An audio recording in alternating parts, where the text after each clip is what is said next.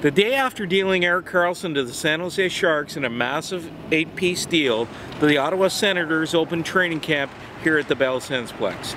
And it was different without the captain on hand.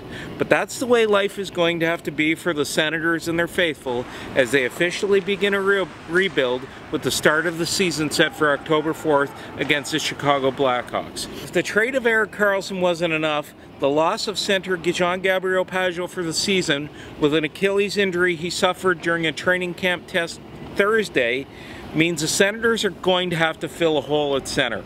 Obviously, Matt Duchene is going to be the number one center for this team, and it looks like Colin White or possibly Chris Tierney, acquired in the deal from the Sharks, will have the opportunity to be the number two center on this team.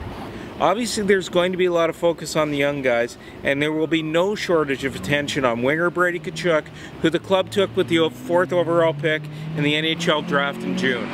He's, he looked good during the rookie tournament, but now he's got to show he can get to the next level. If the Senators are going to achieve anything this season, they're going to have to get better goaltending from Craig Anderson. He came into camp refreshed and ready and hopeful that he can have a better year. So, Day one of training camp is in the books, and there's a lot of work to be done with the first preseason game set for Tuesday in Lucan, Ontario against the Toronto Maple Leafs. For Postmedia in Canada, I'm Bruce Garrioch.